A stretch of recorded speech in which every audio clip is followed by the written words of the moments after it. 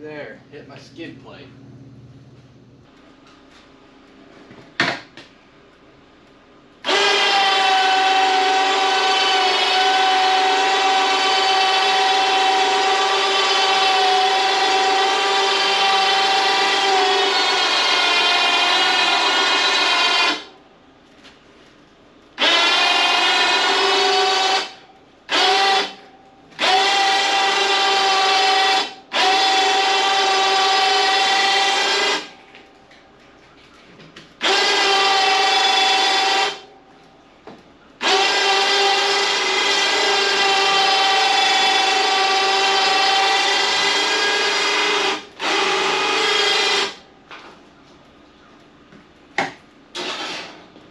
So what I'm trying to do here is figure out how long of a ramp I'm gonna need to get this thing up and not hit the skid plate.